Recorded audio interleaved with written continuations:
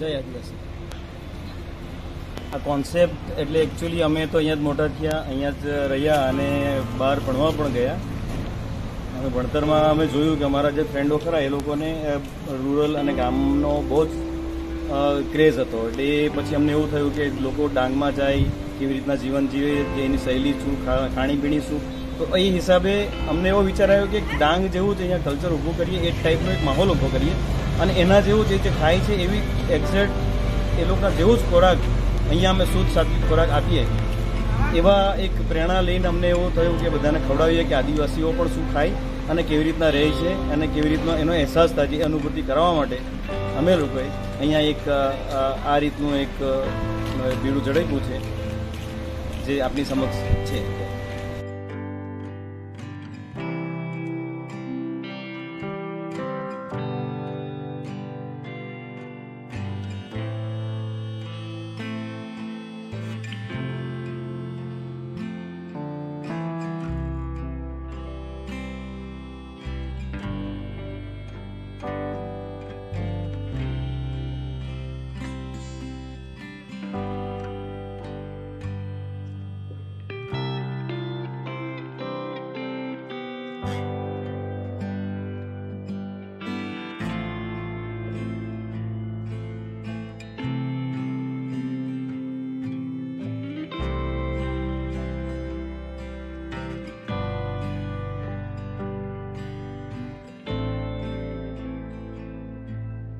ડાંગી એટલે એકદમ નેચરલ અને ડાંગી એટલે તમારું બીજું કેવું હતી પોતાની રીતે જ એ વર્ણવી દેતું હોય કે ડાંગી એટલે શું? અમે ભણતા હતા ત્યારે પણ અમને તો ડાંગી જ કહેતા હતા.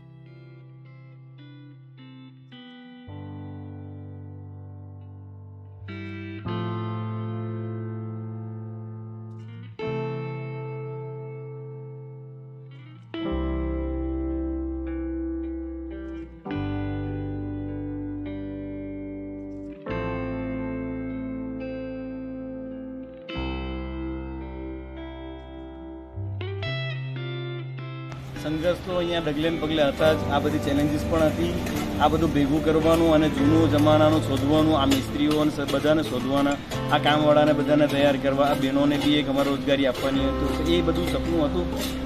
તકલીફ તો ઘણી પડી પણ એમ કંઈક અંશે અમે હવે સફળ થયા એવું અમને અત્યારે લાગે છે. થોડો વિશ્વાસ બેઠો કે આટલા ટાઈમમાં જે સફળતા અને લોકોનો જે આવકાર જે મળ્યો છે લોકોના જે આશીર્વાદ મળ્યા છે એ હિસાબે તો એવું એવું લાગે છે કે અમે કશું ખોટું જ નથી કર્યું. અમે એક બહુ સારું સ્ટેપ લીધું છે અને બધાને જરૂરિયાત તો બી પૂરી પાડીએ છીએ જેને ખાવાનું છે તેને ખાવાનું પણ આપીએ છીએ. ઇવન અમારું તો કિચન બી રસોડું બી ઓપન છે. જોવું હોય કે ભાઈ ચોખા રોટલા કેવી રીતે બનાવો તો હાથી બનાવી અને જોઈ જોઈ પણ શકે છે.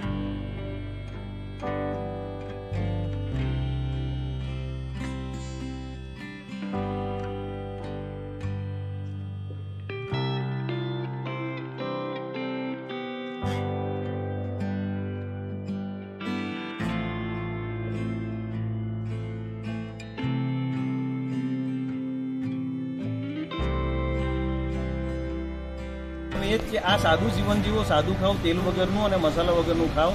જો તમને ભાવે તો વેલકમ. બહુ જ લોકોને તો ગમે છે ઘણાને ગમ્યું નાના છોકરાઓ બી હોતા ખાય છે. અમે એક મસ્ત લાલ ચોખાનું કડાના ચોખાનું ઓસામણ પણ આપીએ છીએ કે જેનાથી તમે એક એપેટાઇઝર તરીકે બી એક સૂપ તરીકે પી શકો એને. તો આ બધી વસ્તુઓ છે અમે એક એવું કરવા માંગીએ છીએ કે લોકો એક સારા ખોરાક તરફ વળે. હા. અને સારું સાદું જિંદગી જીવે. હવે